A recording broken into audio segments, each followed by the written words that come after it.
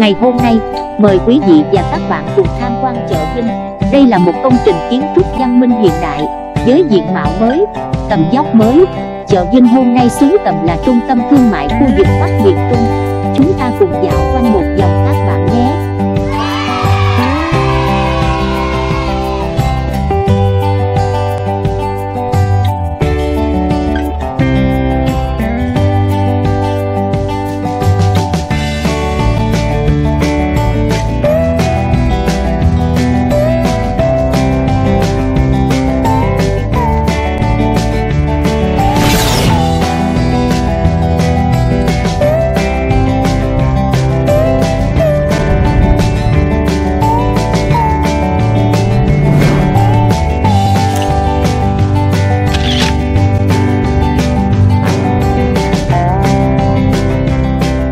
Có tên gọi là chợ Vĩnh và tên chợ cũng là tên của thành phố. Tên gọi chợ Vĩnh này có trong sách Thiên Nam Tứ Trì Lộ Đồ, một sách địa lý nước ta được biên soạn vào thời nhà Lê. Như vậy, hai từ chợ vĩnh được ghi chép vào sử sách đã hơn 300 năm này.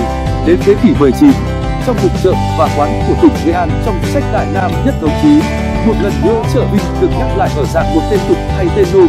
Đằng sau cái tên Hán Việt là chợ Yên Trường. Thuở ban đầu ấy, chợ Vĩnh là của riêng làng Yên Trường rồi dần về sau với sự phát triển kinh tế xã hội và đặc biệt nhờ vào vị trí trung tâm của nó, chợ vĩnh ngày một phát triển, không còn của riêng một làng, một tổng nào nữa. Và đến khi trấn nghệ an chuyển toàn bộ khu vực dinh vĩnh cũ, thì chợ vĩnh đường đường là chợ phiên lớn nhất của trấn nghệ an. Khu dân cư ngoài thành nghệ an dồn cả vào phần đất phố xá thuộc chợ vĩnh. Vào năm 1808 chợ vĩnh đã quá sầm uất. Vậy mà hơn một thập kỷ này, cái dấu ngã trong từ chợ vĩnh dần dần bị bỏ quên cả trong sách chữ pháp lẫn sách chữ việt để xuất hiện một tù vinh mới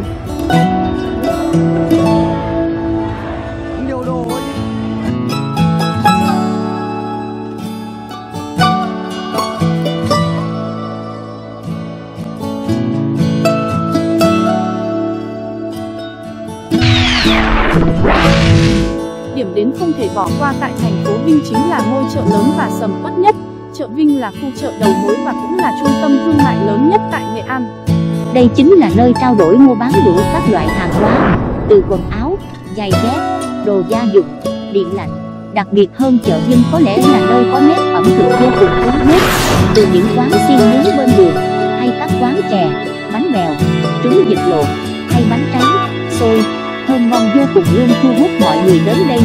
Chợ Vinh là một công trình kiến trúc rất hiện đại có những diện mạo mới và được so sánh là trung tâm thương mại lớn. Công trình chợ dân được xây dựng vào ngày 30 tháng 7 năm 2005. Trải qua 12 năm hình thành và phát triển, thì chợ dân có quy mô ngày càng hiện đại và văn minh hơn. Chợ dân có thiết kế vô cùng độc đáo và nổi bật. Đền chính chợ dân được thiết kế gồm 3 tầng nổi, một tầng hầm, Bãi đổ xe chợ Vinh có 8 làn đường lên xuống thuận tiện cho các phương tiện ra vào và đáp ứng cho nhu cầu đi lại trong các dịp lễ Tết. Tầng 1 bố trí 692 gian hàng đủ các mặt hàng kinh doanh, giải, may mặc, văn phòng phẩm, đồng hồ, điện thoại, đồ điện điện tử, vali. Tầng 2 bố trí 676 gian hàng chủ yếu là hàng kinh doanh may mặc sẵn. Quận còn tầng 3 được chia làm hai khu vực như khu vực kinh doanh siêu thị và nước giải khát việc của ban quản lý chợ, văn phòng đại diện của các công ty.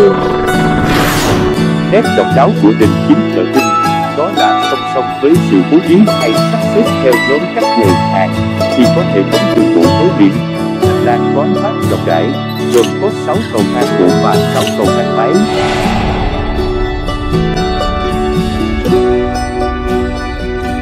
Thêm vào đó, chè thập cẩm và cà phê bọt của chợ Vinh cũng rất thú vị. Quán hàng tầm 10 mét vuông, nhưng ấm cúng đông khách đến lạ. Cái không gian của chợ cũng như thế giới ẩm thực ở nơi đây hòa quyện vào nhau khiến ai cũng cảm thấy bị mê hoặc. Chợ Vinh đa dạng các mặt hàng hóa từ bán buôn đến bán sỉ, không có thứ gì là không có, kể cả bạn muốn sửa chữa đồng hồ, chợ Vinh có, sửa chữa mũ bảo hiểm, chợ Vinh có, sửa chữa quần áo, cặp sách, chợ Vinh có, bạn muốn mua quần áo thời trang nam nữ đầy đủ lứa tuổi, chợ Vinh có, đồ điện dân dụng chợ Vinh có, và chợ Vinh còn có nhiều hơn thế nữa.